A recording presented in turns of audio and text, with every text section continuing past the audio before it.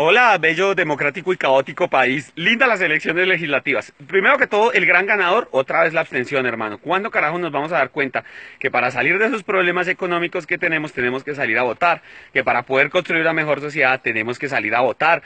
Mire, hermanito, usted tiene 18, 19, 20, 21, 22, 25. Usted es la oportunidad. Los ancianos van a seguir votando por lo mismo. A ellos les meten el cuento del castrochavismo, del homosexualismo, de que las FARC se va a volver dueña del país. Cualquier cuento se lo comen. Y aquí se lo come esta gente que ha ido a universidad.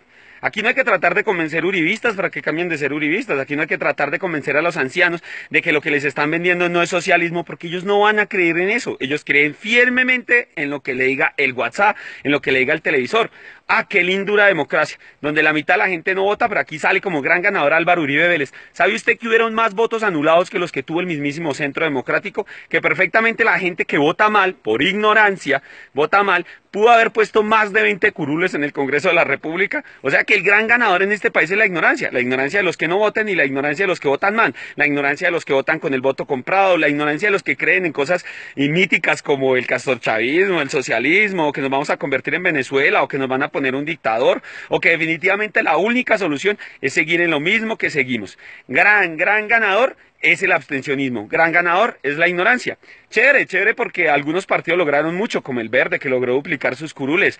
Chévere porque algunos partidos lograron algo que nunca habían hecho, como por ejemplo los decentes, que lograron clavarse cuatro curulcitas en el Congreso. Pero seguimos atados a lo mismo, a la corrupción. Es increíble que Cambio Radical, el partido con más procesos en el país, sea hoy un partido que repuntó totalmente en las elecciones y terminó teniendo tantos congresistas. El fenómeno se explica fácil.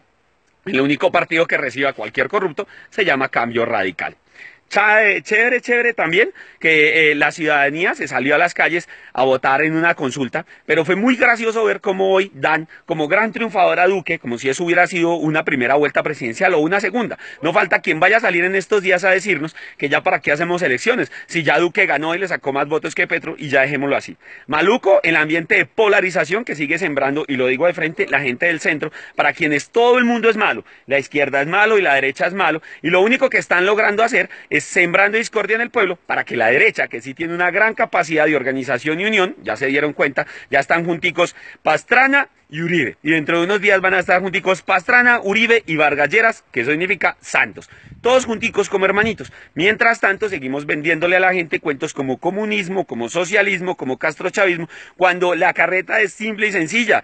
Aquí yo no le estoy haciendo campaña a nadie, pero si usted va y lee, el planteamiento de Petro se llama progresismo. Si usted sale del país y busca en el mundo, los que manejan la línea de centro se llaman progresistas. O sea que finalmente Petro es del centro, no de la izquierda. La izquierda se llama comunismo y socialismo. Y eso es algo que en este país la gente no tiene ni la menor idea de cómo funciona, porque además en ningún lugar del mundo ha funcionado totalmente. Han tratado de hacer pequeños experimentos y pequeñas manipulaciones del capitalismo. La invitación es a usted que no votó, que vaya y vote, socio, porque seguimos eligiendo los mismos con las mismas mañas. ¿Quién eligió a todos esos congresistas? La gente que hace política, la gente que hace politiquería, la gente que está metida en el rollo. Y lo que usted tiene que entender, usted estando en su casa, es que política hacemos todo el día, todo el tiempo. Hasta usted, con su actitud de malparidez, de no salir a votar, de importarle un carajo el país, dedicarse su dominguito a disfrutarlo, también está colaborando a hacer política o a que otros triunfen en la política.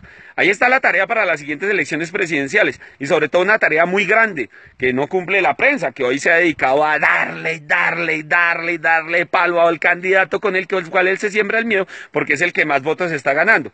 La prensa tiene claro que a segunda vuelta no va a llegar Fajardo. Lo tiene bien, pero bien clarito no va a llegar Fajardo. Así que cogieron un solo marranito. Esperemos, esperemos que a la gente se le baje el ego y sobre todo a los colombianos seamos capaces de sentarnos a leer y a estudiar seriamente nuestra economía y nuestra historia para no andar repitiendo pendejadas como que Petro es malo porque fue guerrillero, que los guerrilleros son malos porque fueron guerrilleros y que todos son narcoterroristas, desconociendo que en este país el Partido Liberal se, fundó a punta de guerrilleros, que tiene grandes guerrilleros guerrilleros en sus filas antiguas, porque Guadalupe Salcedo era liberal, porque todos estos guerrilleros liberales eran liberales y desconociendo que en este país en los años 60, 70, 80 y 90 al que hablaba lo mataban. No como hoy que a uno le cierran la página y le echan la madre. No, no, no, lo mataban. Ah, no, sí, cierto. Hoy también matan dos líderes a la semana por hablar Por eso la gente terminó yéndose al monte y cogiendo una bala, porque muchos les vendieron la idea de que la única manera de salvarse de la bala era irse a la bala.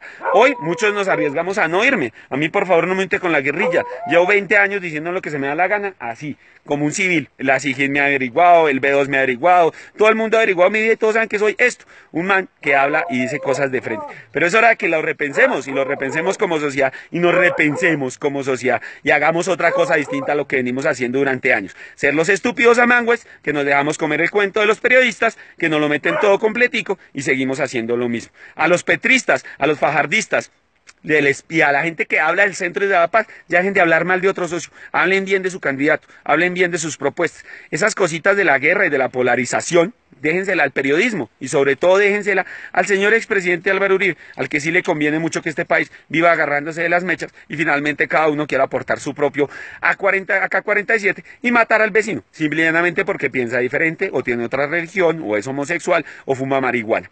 Ahí está, para que les quede tarea. La linda y hermosa democracia más antigua del continente. La misma del Frente Nacional. Chao pues.